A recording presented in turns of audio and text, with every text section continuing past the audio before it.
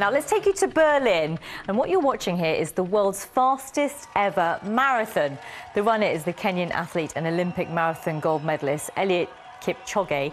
He shaved more than an amazing, this time is incredible, a minute off the previous fastest time. This was his time, two hours, one minute and 39 seconds. Congratulations to him.